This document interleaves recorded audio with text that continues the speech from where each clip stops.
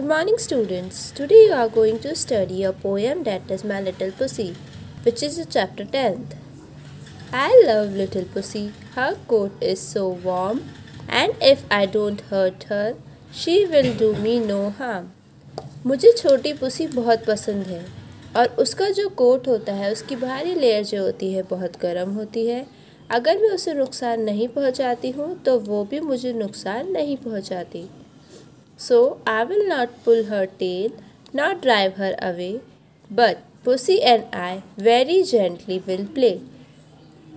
इसलिए मैं उसकी पूछ भी नहीं खींचती ना ही उसे दूर भगाती हूँ जबकि मैं और पुसी हम दोनों एक साथ बहुत ही आराम से खेलते हैं she will sit by my side and I will give her some food and she will love me because I am gentle and good वो मेरे पास बैठ जाती है और मैं उसे कुछ खाना भी खिलाती हूँ। वो मुझे बहुत प्यार करती है क्योंकि मैं उसे बहुत ही जेंटली बहुत प्यार से और मैं बहुत अच्छी हूँ। So now your poem is complete thank you